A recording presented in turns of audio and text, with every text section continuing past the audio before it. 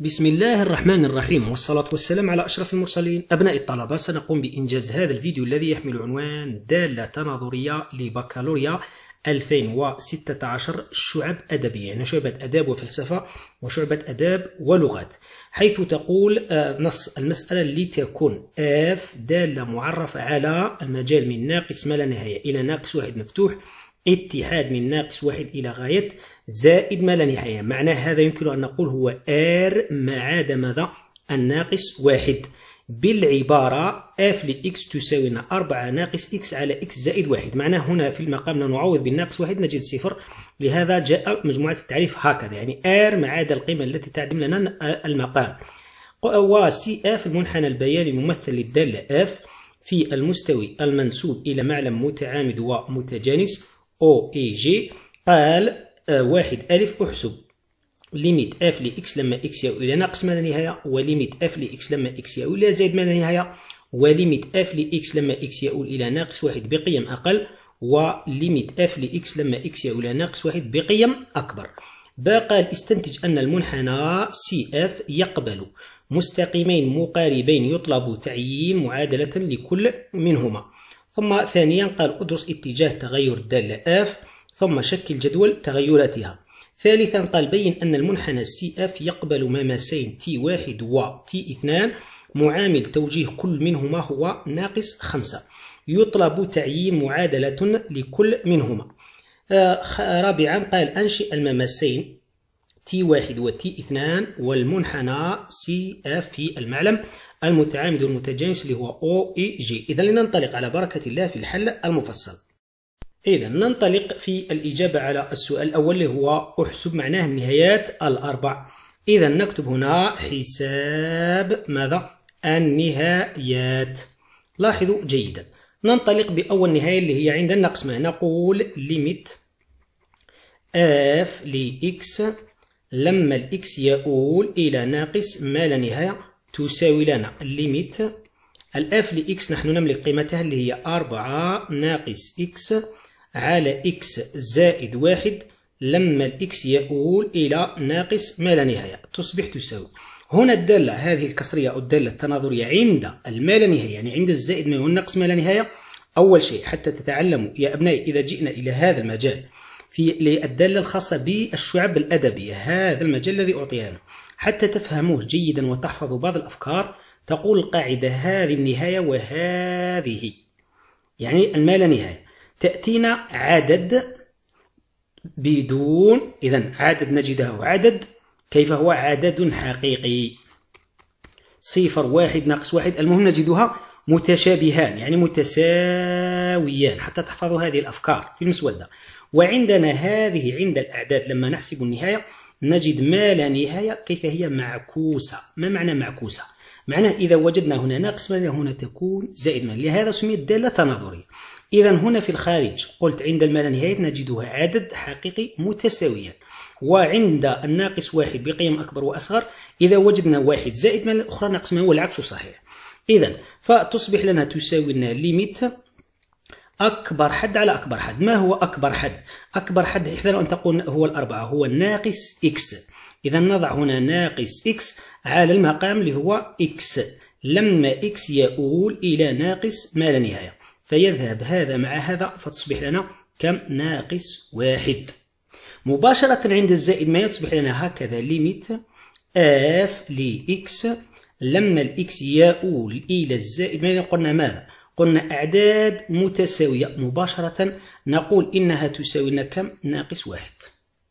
فقط. يعني دون أن تتعبوا عقولكم يقول أحدكم يا أستاذ وإذا كانت العبارة مكتوبة هكذا أربعة على إكس زائد واحد.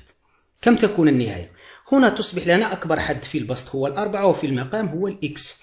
معناها تصبح لنا limite الإكس يؤول إلى الناقص أو الزائد. ما تصبح لنا أربعة على ما لا نهاية. أربعة على ما لا نهاية. أي عدد على ما لا نهاية هو صفر. تصبح لنا هذه النهاية هنا صفر. حتى تفهموا جيدا. الآن بعدما وجدنا عند الما لا نهاية وجدناها أنها ناقص واحد نأتي الآن عند العدد. عند العدد كذلك انتبهوا تصبح لنا limite f لإكس اللي هي 4 ناقص إكس على إكس زائد واحد. لما الإكس يؤول إلى ناقص واحد بقيم أقل تصبح تساوي. ركزوا هنا. لو نعوض في البسط بالبسط عوضوا بالقيمة ناقص واحد معناه هنا لو تعوض بناقص واحد. فتصبح لنا ناقص لاحظوا أربعة في ناقص ناقص واحد تصبح لنا زائد واحد. معناه واحد زائد أربعة اللي هي كم؟ اللي هي خمسة. معناه نجد في البسط العدد خمسة والمقام لو نعوض هنا بناقص واحد أكيد سوف نجد كم؟ ناقص واحد زائد واحد إنها صفر. لكن هنا انظروا جيدا معي. قلت علينا أن نجدها ما لا نهاية معكوسة. هنا بقيم أقل. العدد المضروب هنا في الإكس كيف إشارته؟ إشارته زائد لأن إكس لو قال ناقص إكس لكانت ناقص. إذا تصبح لنا زائد أنتم أعكسوها واجعلوها بما أن هنا عندنا زائد فأنتم اجعلوه هنا ناقص. فتصبح لنا أي عدد على صفر هو الما لا نهاية تبقى لنا قضية الإشارات. إشارة الخمسة. الخمسة هي كم؟ هي الزائد والناقص. هذا. إذا زائد في ناقص ماذا يعطينا؟ يعطينا ناقص. إذا تصبح لنا النهاية هي ناقص ما لا نهاية. عند الآن عند الناقص واحد بقيم أكبر. تصبح لنا limite ماذا؟ f لإكس لما الإكس يؤول إلى ناقص واحد بقيم أكبر. ماذا قلت أنا؟ إذا وجدنا هنا بالناقص من هنا ماذا نجد؟ قلت تصبح ما لا نهاية معكوسة مع تصبح لنا زائد ما لا نهاية فقط. يعني دون أن نتعب عقولنا. هذه مثلا طريقة. يوجد لنا مثلا طريقة أخرى.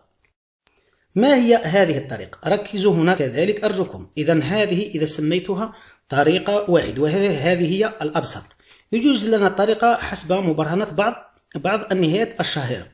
ما هي؟ عندنا أول عندنا نهاية شهيرة كي تكون على ديرة اللي هي limite واحد على إكس ناقص أ لما الإكس يؤول إلى أ بقيم أقل هذه مشهورة أنها تساوي لنا ناقص ما لا نهاية. قلت تساوي لنا ناقص ما لا نهاية. إذا طبقا على هذه ماذا تصبح؟ تصبح لنا الكتابة هي limite انظروا جيدا. أربعة ناقص إكس في واحد على إكس زائد واحد. لما الإكس يؤول إلى ناقص واحد بقيم أقل. لاحظوا جيدا. هذه النهاية اللي هي limite انظروا جيدا. limite أربعة ناقص إكس. لما الإكس يؤول إلى ناقص واحد بقيم أقل. لو نعوض هنا بالناقص واحد مع الناقص بح زائد معنى تصبح لنا أربعة زائد واحد ألا وهي العدد خمسة. يبقى لنا النهاية هي هذه. هذه لو نلاحظها جيدا إنها تشبه هذا القانون. لماذا أبنائي؟ معناها تصبح لنا هكذا limite واحد على إكس زائد واحد لما الإكس يؤول إلى ناقص واحد بقيم أقل هذه الأ هنا ما هو؟ هو ناقص واحد تصبح لنا واحد على إكس ناقص ناقص واحد لما الإكس يؤول إلى الناقص واحد بقيم أقل ها هي نهايتها كم؟ إنها تصبح لنا ناقص ما لا نهاية فماذا ينتج؟ هذا وجدنا نهايته كم؟ وجدناها خمسة وهذا نهايته كم وجدناها؟ ناقص ما لا نهاية. ناقص ما لا نهاية في خمسة. ماذا تعطينا؟ تعطي لنا؟ ناقص ما لا نهاية. هذه مثلا طريقة ثانية. بطريقة مبرهنات حسب النظريات حسب النهايات. عندنا بما أن وجدنا هذه قلنا ناقص ما لا نهاية. ونحن قلنا الدالة التناظرية مباشرة تصبح لنا الأخرى limite f لإكس. لما الإكس يؤول إلى ناقص واحد بقيم أكبر تساوي لنا كذلك زائد ما لا نهاية. بنفس الخطة لأن عندنا نهاية شهيرة كذلك اللي هي limite واحد على إكس ناقص أ. لما الإكس يؤول إلى أ إكس يؤول إلى أ تصبح لنا تساوي لنا ماذا؟ أبنائي لاحظوا تصبح تساوي لنا زائد ما لا نهاية. إذا هذه تعطيكم زائد ما لا نهاية ونعوض هنا بالناقص واحد تصبح لنا خمسة. خمسة في الزائد ما تعطي لنا زائد ما لا نهاية فقط أبنائي. قد يعني استخرجناها بطريقتين لكن الطريقة الأولى هي الأسهل. لكن إذا كان هنا عندكم ناقص فهنا تصبح لكم صفر زائد. خمسة على صفر زائد الزائد تعطينا ما لا نهاية الزائد في الناقص تصبح لنا الزائد في الزائد. لو كان هنا زائد تصبح لنا زائد ما لا نهاية. أخرى بدون أن تحسبوها إنها استنتاجية فقط أبنائي. بعدما أنهينا مع هذا السؤال نأتي الآن إلى استنتج أن المنحني C f أو المنحنى f يقبل مستقيمين مقاربا يطلب تعيين معادلة لكل منهما. إذا نكتب هنا البرهان أو استنتاج في الأصل. استنتاج أن المنحني إف ماذا يقبل مستقيمين؟ كيف هما مقاربين؟ لاحظوا جيدا أبنائي. هنا بما أن قال استنتج نقول لدينا ماذا؟ لدينا أن النهاية الأولى عند الناقص ما تساوي ناقص واحد وعند الزائد ما تساوي زائد واحد تقول القاعدة في الدالة التناظرية هذه الخاصة بالأدبيين الدالة التناظرية من هذا النوع يوجد لها مستقيمين مقاربين واحد أفقي والآخر عمودي هذا ماذا؟ بما أن حسبنا النهاية عند الناقص من وجدناها عدد وهنا عند الملانية وجبناها نفس العدد فماذا نقول؟ المهم عدد فنقول y يساوي لنا ناقص واحد مستقيم. كيف هو؟ مقارب أفقي أو موازي لمحور الفواصل. وعندنا وكذلك حاسبنا النهاية. عند العدد ناقص واحد وجدناها ناقص ما لا نهاية. وعند ناقص واحد كذلك بقيم أقل وقيم أكبر. واحد ناقص ما هو الأخرى زائد ما نقول كذلك يعني أمر اسمجي فقط. يعني تحفظ. بما أن حسبنا النهاية عند عدد ووجدناها ما لا نهاية فنقول x يساوي ذلك العدد اللي هو ناقص واحد مستقيم. كيف هو؟ مقارب عمودي أو شاقولي أو موازي لمحور التراتيب. هذه هي المستقيمة المقاربة.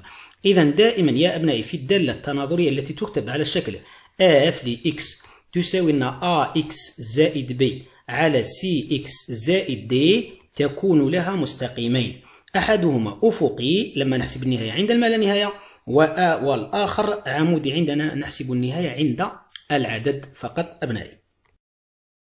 بعد ما أنهينا مع هذا السؤال نأتي الآن إلى السؤال الآخر قال أدرس اتجاه تغير الدالة F إذا نكتب هنا دراسة اتجاه الدالة F على المجال المجال دائما الذي ندرس في هذه الدالة هو مجال التعريف هو هذا. لاحظوا جيدا هنا ما المقصود بذلك هو حساب المشتقة. فنقول f فتحة ل x تساوي. أول شيء حتى تتعلموا. ها هي الدالة هذه أمورها كلها يعني على شكل قوانين تحفظ. اسمعوا جيدا تقول مشتق الدالة هذه التناظرية دائما تجدون عدد بدون x. اسمعوا جيدا نجد عدد. بدون x. يعني لا يوجد x على المقام مربع. إذا وجدتم الإكس هنا لما تشتقوا فهناك خطأ. لكن أنا أتحدث مع الشعب الأدبية. فتصبح لنا ماذا؟ نحن نعلم أبنائي أن مشتق دالة كسرية. اللي هي U على V. هكذا. قانونها يساوي هكذا. احفظوا. مشتق البسط في المقام. ناقص مشتق المقام. في البسط على المقام مربع. يعني أول شيء لا أنساه هو المقام مربع. يعني نأتي بهذه القيمة ونضعها في المقام مربع معناه x زائد واحد الكل مربع. نأتي الآن إلى القانون. ما هو مشتق أربعة ناقص x هذا رمز المشتقة ماذا يساوي؟ مشتق عدد دائما يعطي لنا صفر. ومشتق الناقص x كل عدد مضروب في x لما نشتق يبقى إلا العدد. معنى يصبح لنا كم مشتقة هي ناقص واحد. إذا مشتق البسطي في ماذا؟ في المقام ليس في مشتق المقام في المقام. المقام ما هو؟ المقام هو إكس زائد واحد. ناقص. ها هو قانون لست أنا من فعلته. ناقص. ناقص مشتق المقام. مشتق إكس زائد واحد لو نشتقه. مشتق الإكس هو واحد كل عدد مضروب في الإكس يبقى إلا الإكس يبقى إلا العدد لما أشتقه. ومشتق الواحد يذهب إلى ماذا؟ يذهب إلى الصفر. فيصبح لنا مشتق المقام في البسط البسط اللي هو أربعة ناقص إكس. ودائما وأكرر قلت علي أن أجد عدد دون إكس بدون إكس على المقام مربع. إن وجدت غير ذلك فهناك خطأ في ما يخص الحساب. إذا نكمل الآن فتصبح لنا f فتحة ل x المقام لا نلمسه نتركه كما ورد إذا x زائد واحد الكل مربع البسط نأتي. ناقص واحد في x تصبح لنا كم؟ تصبح لنا ناقص x وناقص واحد في ناقص في زائد واحد. تصبح لنا ناقص واحد.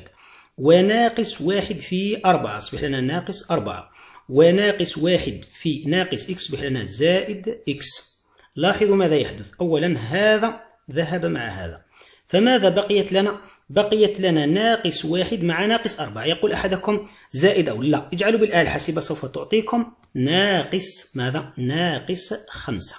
إذا نضع هنا في البسط نضع قيمة ناقص خمسة. هل وجدنا الشيء الذي قلت عدد بدون إكس على المقام مربع؟ نعم. قد وجدناه. يقول أحدكم يا أستاذ وإذا أعطيت لنا الدالة مكتوبة على شكل مثلا اثنان مثلا زائد ثلاثة على إكس مثلا زائد واحد كيف نشتق هذه القيمة؟ تصبح مشتق الاثنان كم؟ إنه صفر. زائد ونأتي مشتق البسط مشتق الثلاثة بما أنه عدد بدون إكس مشتقه هو صفر. في المقام أنا أعطيكم مثال فقط ناقص مشتق المقام مشتق إكس هو واحد ومشتق الواحد هو صفر. إذا واحد في البسط على المقام مربع اللي هو إكس زائد واحد الكل مربع. إذا فماذا ينتج؟ أن هذا بما أن يضرب في صفر فيذهب كليا من هذا المكان نقوم بحذفه هكذا.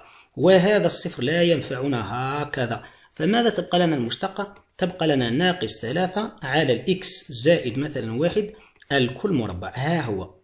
عدد على المقام مربع لاحظتم؟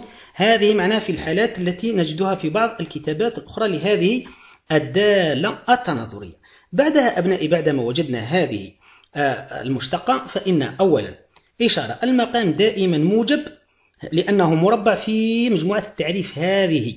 الآن يصبح إشارتها من إشارة البسط. البسط كيف هو؟ ناقص خمسة عدد كيف هو؟ سالب. إذا نقول هكذا. أي ماذا؟ أي الدالة. اف كيف هي؟ متناقصة تماما على ماذا؟ على المجال. من ناقص ما لا نهاية إلى ناقص واحد مفتوح اتحاد. من ناقص واحد إلى غاية زائد من لأن الدالة هذه التناظرية من هذا النوع إما متزايدة مباشرة أو متناقصة. يقول أحدكم متى نقول أنها متزايدة؟ إذا وجدنا هنا زائد خمسة. فقط. أما المقام هو دائما موجب في هذه مجموعة التعريف فقط أبنائي.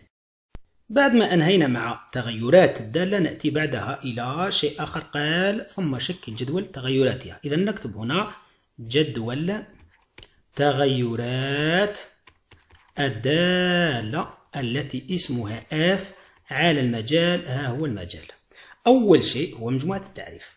نقول x من ناقص ما لا نهاية. إلى غاية ناقص واحد لكن هنا عند الناقص واحد نتوقف ونضع هذا الخط هكذا. انظروا أن الدالة غير معرفة عند هذا. يقول أحدكم وهل نضعه باللون الأحمر؟ يمكنكم تضعه إلا باللون الأزرق. إلى غاية ماذا؟ إلى غاية زائد ما لا نهاية. ها هو المجال. من ناقص ما لا نهاية إلى غاية ناقص واحد ثم تأتينا هذا الأمر ومن ناقص واحد إلى غاية زائد ما لا نهاية. نأتي إلى المشتقة f فتحة لإكس كيف وجدناها؟ انظروا. وجدنا إشارتها كيف هي؟ سالبة. إذا الدالة متناقصة. كلمة متناقصة نضع هنا ناقص وهنا ناقص. يعني مستحيل أن نقعنا هنا ناقص وهنا زايد. لا. دالة تناظرية إما متناقصة مباشرة أو متزايدة مباشرة. ثم نأتي الآن إلى مجال الصور اللي هو f ل f قلت ل x f ل x هنا ناقص معناه ننزل هكذا ثم عندنا كذلك هنا ناقص ننزل هكذا نأتي الآن لملء النهايات لما حسبنا النهاية عند ناقص ما لا نهاية ها هو x عند ناقص ما لا نهاية كم وجدنا ناقص واحد إذا نضع هنا ناقص واحد وعند لما حسبنا النهاية عند زائد ما كم وجدنا وجدنا ناقص واحد يعني x يؤول إلى زائد ما وجدنا كذلك ناقص واحد. إذا نضع هنا ناقص واحد. نأتي كذلك أبنائي لما حسبنا النهاية عند ناقص واحد بقيم أقل وجدناها ناقص ما لا نهاية إذا هنا ناقص ركزوا فقط. هنا ناقص ما لا نهاية وبقيم أكبر وجدناها زائد هل الأمر يقبله العقل؟ نعم. من ناقص واحد تنزل إلى ناقص ما لا نهاية ومن زائد ما يمكن أن تنزل إلى ناقص واحد. يعني إذا وجدنا هنا زائد ما فهناك خطأ لأن الزائد ما لا نهاية هذه هي مواقعها. والناقص ما لا نهاية هذه هي مواقعها حتى تفهموا جيدا. يعني من وجد هنا زائد ناقص ما هناك خطأ. هنا كذلك هناك خطأ. من وجد هنا زائد من هناك خطأ. لأن الزائد من تأتي في هذه المواقع الكبرى والأخرى تأتي في المواقع السفلى فقط أبنائي. بعد ما أنهينا مع هذا السؤال كذلك نأتي بعدها إلى السؤال الآخر. قال بين أن المنحني المنحنى C f يقبل مماسين T واحد و T اثنان بما أن هنا قال مماسين معناه سوف نجد معادلة لها حلان. معامل توجيه كل منهما يساوي لنا ناقص خمسة. إذا كلمة اسمعوا جيدا معامل التوجيه هذا هو المعروف أنها يساوي لنا كلمة المشتقة. اسمعوها جيدا يساوي لنا كلمة المشتقة. أولا نكتب العنوان. البرهان أن المنحني سي آف يقبل كم من مماس؟ يقبل مماسين تي واحد و T اثنان حيث معامل التوجيه كل منهما يساوي ناقص خمسة. معناه نأتي لنضع المشتقة اللي هي f فتحة لإكس نجعلها تساوي معامل التوجيه. كم هو معامل التوجيه؟ معامل التوجيه هو ناقص خمسة. دون أن نتعب عقولنا ونحل معادلة بما أن قال مماسين معناه نجد حلان أو حلين. فتصبح لنا المشتقة. ها هي أمامكم. انظروا. ها هي المشتقة. تصبح تساوي معامل التوجيه الذي أعطينا هو ناقص خمسة. مرات نجد سؤال آخر. بين أن المنحني منحنى C f يقبل مماسين T واحد و T اثنان ميلهما معدوم. نضع هنا صفر. مرة يقول يوازي محور الفواصل محور الفواصل. لو نأتي هنا الميل ميل هذا الهايل أو معامل التوجيه هو صفر. لما يقول يوازي محور الفواصل نقول أن المشتقة تساوي صفر. مرة نجده بلغة أخرى كذلك اسمعوها جيدا. برهن آه، بين أن المنحني C f يقبل مماسين T واحد و T اثنان يكونا موازيين للمستقيم. مثلا يعطينا دالتا مثلا يساوي لنا مثلا ناقص خمسة إكس زائد واحد. هنا مباشرة نقول المشتقة دائما المشتقة تساوي معامل التوجيه. معامل التوجيه هو العدد المضروب هنا في الإكس. معناها اللي هو تساوي ناقص خمسة. أما إذا أعطيت لكم العبارة فيها نوع من من يصبح لنا مثلا يعطينا هكذا. مثلا يعطينا لو يعطينا خمسة إكس زائد إيكغيك زائد واحد يساوي صفر أو ناقص واحد مثلا. علينا أن أنقل هذا الإكس من هنا وهذا إلى هنا. تصبح لنا إيكغيك تساوي ناقص خمسة إكس زائد واحد. ها هو معامل التوجيه. هو دائما لأن أي مستقيم يكتب هكذا. أ إكس زائد ب هذا هو معامل التوجيه. هو العدد المضروب في الإكس. قلت العدد المضروب في إكس حيث نقول إيكغيك يساوي. ونحل المعادلة كذلك. f فتحة لإكس تساوي لنا كم؟ تساوي لنا ناقص خمسة. معناه معامل التوجيه. يقول أحدكم وإذا أعطينا إيكغيك يساوي لنا إكس معامل التوجيه هنا كم واحد؟ نقول المشتقة تساوي واحد. هذا نعنى كل هذه الأسئلة التي يمكن أن نجدها وكل مرة تطرح بصيغة في البكالوريا. معناه هنا مقام هذه القيمة كم؟ واحد. نستعمل جداء الطرفين في جداء الوسطين ما معناه ما نسميه الكروازي معناه يصبح لنا هذا في هذا يساوي لنا هذا في هذا. تصبح لنا كم؟ ناقص خمسة في واحد يساوي لنا إكس زائد واحد الكل مربع في ناقص خمسة. هذا هو الأمر معروف. وبما أن تصبح لنا ناقص خمسة يساوي لنا كم يساوي لنا إكس زائد واحد الكل مربع في ناقص خمسة بما أن في هذا لو ينتقل ينتقل إلى المقام إلى الجهة الأخرى لأنه اسمعوها لأنه في بما أن هذا أعطانا ناقص خمسة مع ناقص خمسة لو نجعل بالآلة الحاسبة سوف تعطينا كم؟ تعطينا واحد فماذا ينتج؟ ينتج لنا هذا الأمر. ركزوا أرجوكم نقطة نقطة أبنائي حتى تعلموا. وقلت علينا أن نجد قيمتان. فتصبح لنا إكس زائد واحد الكل مربع يساوي كم؟ يساوي لنا واحد لأن ذهب هذا مع هذا بقيت لنا إلا قيمة اسمها واحد. الآن ماذا تقول القاعدة؟ بما أن هذه القيمة موجبة وهذه القيمة موجبة. فتقول مثلها كمثل اسمعوا جيدا. مثله كمثل لو نقول إكس مربع يس... عفوا إكس مربع يساوي لنا أربعة. فإن إكس ماذا يساوي؟ يساوي لنا جذر أربعة أو إكس يساوي لنا ناقص جذر أربعة. يقول أحدكم وفي هذا المثال كيف؟ مثلها كمثل هذا كليا إكس مربع. يساوي لنا واحد. معناه أصبح لنا إكس زائد واحد يساوي لنا جذر واحد أو إكس زائد واحد يساوي لنا ناقص جذر واحد. يعني طبقوها حسب هذا المثال فقط. أما إذا كان هذا العدد سالب فهذا لا يمكن. تابعوا جيدا. إذا لاحظوا جيدا هنا أبنائي معناه تصبح لنا هكذا. أي إكس زائد واحد يصبح يساوي لنا جذر واحد اللي هو كم؟ واحد. أو إكس زائد واحد يساوي لنا ناقص جذر واحد الذي يساوي لنا لأن هنا كان واحد لو كانت عدد أخرى تركناه هكذا. تركنا مثلا جذر ثلاثة يساوي لنا ناقص واحد. اسمعوا لأن جذر واحد هو واحد وسبق بناقص هو ناقص واحد. نحل الآن هذه المعادلة. إذا فماذا ينتج؟ ينتج لنا قلنا إكس زائد واحد يساوي لنا واحد. ننقل هذا إلى هنا. تصبح لنا إكس يساوي لنا واحد ناقص واحد. أي إكس يساوي كم؟ صفر. ها هو الحل الأول. الحل الثاني اللي هو يصبح لنا إكس زائد واحد يساوي لنا ناقص واحد.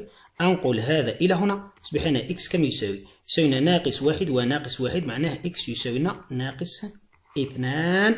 نقول بما أن وجدنا حلا نقول ومنه Cf يقبل ماذا؟ يقبل مماسين T واحد و T اثنان هكذا عند إكس يساوي صفر و إكس يساوي لنا كم؟ يساوي لنا ناقص اثنان هذا هو الجواب وانتهى الأمر بعدما قمنا بالإجابة على هذا السؤال قال أوجد معادلة هذين المماسين إذا نأتي الآن لحساب معادلة المماسين لاحظوا إذا المماس قلنا واحد عند إكس يساوي لنا ناقص اثنان والآخر عند إكس يساوي لنا صفر. نحسبهم فقط ولا داعي للترتيب لأن لم يقل الترتيب. إذا هنا نقول حساب أو نعم حساب أو تعيين هكذا تعيين نكتبها بخط آخر تعيين معادلتي تي واحد و تي اثنان. ولا يهم لمن نعطي الناقص اثنان أو صفر إلى كل واحد منهم. نحن نعلم أبنائي أن معادلة المماس في الحالة العامة هي y يساوي أن f فتحة ل x صفر في x ناقص x صفر زائد f ل x صفر. هكذا. هذه في الحالة العامة. نأتي الآن إلى الإكس صفر التي أعطيت لنا التي وجدناها معنا حتى تتعلموا.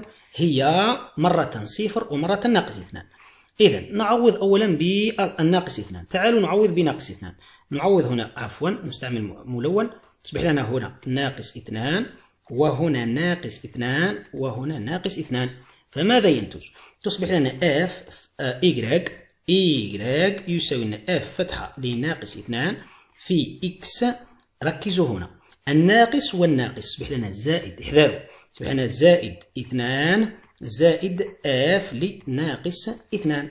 ماذا تقول القاعدة؟ هنا في هذه نعوض في المشتقة وهنا نعوض في الدالة. لكن هنا بدون أن نعوض في المشتقة. كم هي؟ هي ناقص خمسة. لكن الذي لم ينتبه يعوض كالباقي. يعني نعوض وكأنني لم أنتبه لها. في الأصل هي تعطينا هذا لأن هذه القيمة هي نفسها كم؟ آف لناقص اثنان هي ناقص خمسة. لكن إن لم تنتبهوا عوضوا. تصبح لنا هنا كم؟ ناقص اثنان وهنا ناقص اثنان. فماذا ينتج؟ تصبح لنا ناقص خمسة على ناقص اثنان زائد واحد. ناقص اثنان زائد واحد هي ناقص واحد. مع التربيع كم يعطينا؟ يعطينا واحد. فتصبح لنا كم؟ تصبح لنا ناقص خمسة. تصبح لنا y يساوي معنى هذه نعوضها بهذا. كم هو؟ ناقص خمسة في x زائد اثنان زائد اف لناقص خمسة. اف لناقص خم... ناقص اثنان عفوا ناقص اثنان وهنا تصبح لنا ناقص اثنان وهنا ناقص اثنان. فماذا ينتج؟ ركزوا أرجوكم فيما يخص أمور الحسابية. إذا فماذا ينتج؟ ينتج لنا الأمر هكذا. تصبح لنا f لناقص اثنان يساوي. هنا تصبح لنا أربعة والناقص والناقص تصبح لنا زائد اثنان. تصبح لنا ستة. على هنا كم نجد؟ ناقص اثنان مع زائد واحد. أكيد تعطينا ناقص واحد. تصبح لنا f لناقص اثنان تساوي لنا كم؟ ناقص ستة. إذا هنا نضع ناقص ستة. الآن ما علينا إلا الإكمال. لما نكمل تصبح لنا y يساوي. ننشر هذا في هذا. تصبح لنا ناقص خمسة إكس ثم هذا في هذا. كم؟ ناقص عشرة ناقص ستة. تصبح لنا y يساوي لنا ناقص خمسة إكس ناقص ستة عشر. هذا إذا سميناه ماذا؟ إذا سميناه T واحد. عند الفاصلة إكس كم يساوي؟ يساوي لنا ناقص عفوا إذا نوضحها. عند الفاصلة ناقص اثنان. بعدها أبنائي نأتي الآن لحساب المشتقة آه، حساب معادلة المماس عند إكس يساوي لنا صفر بنفس الخطة. لاحظوا معناه نعوض هنا بصفر وهنا بصفر وهنا بصفر. فماذا ينتج؟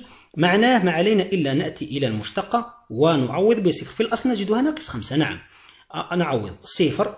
قلت صفر. ماذا تصبح؟ تصبح لنا ناقص خمسة على واحد مربع. كم تعطي لنا؟ تعطينا ناقص خمسة.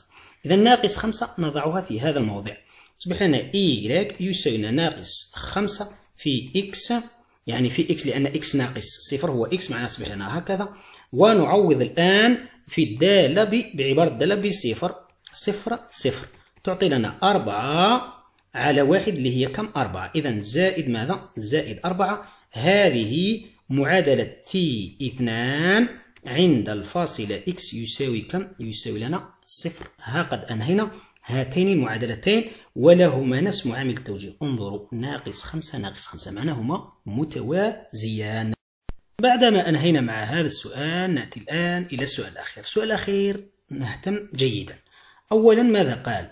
قال أنشئ المماسين T واحد و T اثنان والمنحني Cf المماسين هنا أبنائي عليكم أن تتعلموا استعمال ماذا؟ الجدول المساعد. ها هو الجدول المساعد الذي درستموه في السنة الرابعة متوسط. هكذا.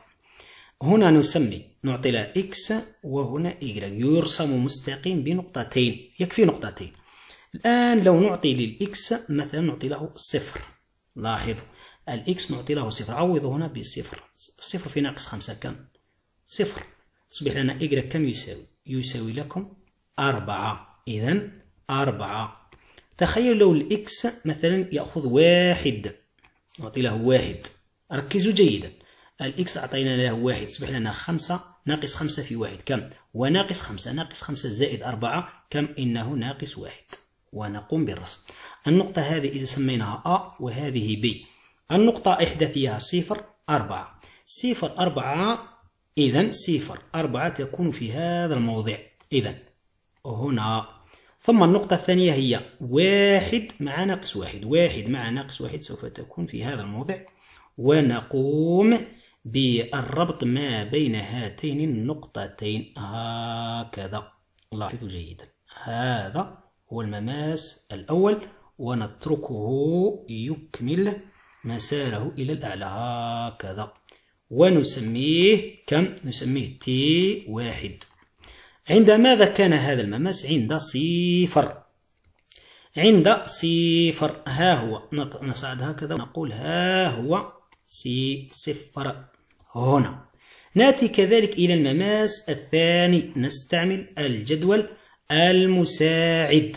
إذا هكذا إكس وإيكغيك ركزوا أرجوكم. ناتي كذلك. لو نعطي هنا لا تعطي قيم تعطي مثلا واحد. تعطي القيم كبيرة ماذا ما رأيكم أن نعطي للإكس مثلا نعطي له ناقص ثلاثة؟ يقول أحدكم لماذا؟ حتى نتحصل على قيم يعني يمكن تعيينها هنا في الجدول. لأن ناقص 16 أولا لا يمكن. لو نعطي للإكس هنا صفر تصبح ناقص 16 ناقص 16 صعبة المنال. نعطي قيم أخرى. فتصبح لنا كم؟ لاحظوا تصبح لنا ناقص 3 في ناقص 5 كم؟ هي 15 15 ناقص 16 كم تعطينا تعطينا ناقص واحد. إذا لما أعطينا ناقص 3 ناقص 3 للإكس. الإجرة كم أصبح؟ أصبح يساوي ناقص واحد. هذه النقطة الأولى. ما رأيكم كذلك أبنائي لو نعطي للإكس نعطي له مثلا ناقص اثنان. ناقص اثنان في ناقص خمسة تصبح لنا عشرة. عشرة ناقص ستة عشر تساوي لنا كم؟ ناقص ستة. إذا لما أعطينا ناقص اثنان وجدنا كم؟ ناقص ستة. الأمر يعني يقبله العقل. يعني في, في المعلم هنا. ناقص اثنان ها هي الناقص اثنان. مع ماذا؟ مع ناقص ستة. ناقص ستة ها هي. إذا في هذا المكان هنا. إذا هذه النقطة الأولى. هذه النقطة. ناقص اثنان مع ناقص ستة. هذه النقطة الأولى. النقطة الثانية وهي المماس. والنقطة الثانية هي ناقص ثلاثة مع ناقص واحد. ناقص ثلاثة ها هي مع ناقص واحد يعني يكون في هذا الموضع هنا كما أشير. ثم نربط ما بين النقطتين هكذا بواسطة المسطرة. فيكون كيف يكون هذا المماسين؟ يجب أن يكون متوازيان. وقلنا المماس عند ماذا؟ عند x يساوي ناقص 2 x يساوي ناقص 2 ننزل هكذا. إذا يكون في هذا الموضع يمس هنا كما أشير. هذه كلها أمور علينا أن نفهمها. ثم نأتي بعدها أبنائي إلى شيء آخر. الشيء الآخر هو المستقيمات المقاربة. لا ننساهم. المستقيمات المقاربة عندنا ها هو مستقيم عمودي. إكس يساوي ناقص واحد. إكس يساوي ناقص واحد. نأتي بالمسطرة ونرسم مستقيم عمودي هكذا. لاحظتم؟ ونسميه هنا إذا سميت هذا T اثنان. هذا إكس يساوي ناقص واحد. إذا قلت إكس كم يساوي؟ يساوي ناقص واحد. والإيجراج اتفقنا عليه كم؟ ها هو ناقص واحد. مستقيم مقارب. كيف هو؟ أفقي كم يساوي؟ يساوي إيجراج يساوي ناقص واحد. فيكون هكذا. لاحظتم؟ ونسميه كذلك إيجراج يساوي ناقص واحد. ثم ننطلق في عملية الرسم. كيف تتم عملية الرسم؟ نرسم جزء والجزء الآخر نناظره. أين تكون محور التناظر؟ يكون في نقطة تقاطع المستقيمين الأخضر الأخضرين معناه المستقيم مقارب العمودي والأفقي. كيف تتم العملية؟ لاحظوا جيدا. أولا نقاط التماس ها هي. إذا فيأتيكم هكذا. انظروا حسب النقطة الحمراء. ثم ينزل هكذا. يعني كان ب... ب... ب... مع المستقيم الأفقي هذا ونزل إلى هذا المستقيم العمودي. هذا الجزء الأول. إذا سوف نأتي الآن إلى نقطة التماس هنا الأهم. هكذا من هنا ينزل وفي أصله جاء من هنا وبدأ بالنزول إلى تلك نقطة التماس. ها هي نقطة التماس. إذا والجزء الآخر نناظره بالنسبة. معناه نأخذ مثلا نقطة من هنا ونناظرها هكذا. ثم نأتي بنقطة مثلا أخرى. ونناظرها. هكذا اسمعوا جيدا. هكذا نناظرها. ويكفيني مثلا نقطتين. لاحظوا جيدا ثم تتم العملية. أولا نقطة التماس هي فيأتيكم من هنا. هكذا. يمس يعني يأتي من هنا. يمس إلى هنا ويتجه نحو هذا. ركزوا. لو نحسب f لصفر لاحظوا جيدا. f لصفر وجدناها كم؟ وجدناها كذلك. ها هو x يساوينا كم؟ يساوي صفر. معناه يأتيكم من هنا ويبدأ بالنزول هكذا. أبنائي لاحظ. يعني لا سوف نرسمه بطريقة أوضح. هكذا. جاء من هنا مع هذا الجدار ونزل إلى إيجراج يساوي كم؟ ناقص واحد. ونسميه كم؟